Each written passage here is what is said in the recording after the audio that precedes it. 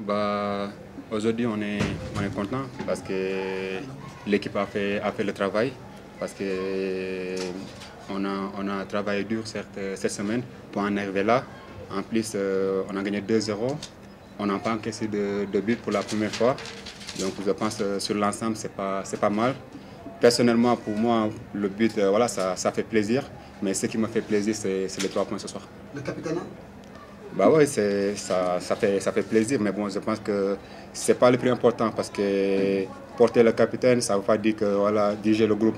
Il y a d'autres qui sont là et qui tirent le groupe, donc je pense que ce n'est pas le plus important. C'est quel moment difficile quel moment su que vous allez être capitaine bah, il, y a, il y a deux jours, donc euh, le coach est venu me voir, il me l'a annoncé, il m'a dit euh, prépare-toi, donc voilà, je lui ai dit euh, ok, ça va, il n'y a pas de souci. C'était quoi la difficulté de ce match?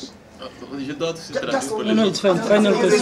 C'était quoi la difficulté du match bah, C'était vraiment essayer de, de, les contrer parce qu'ils allaient vite sur les, sur les comptes.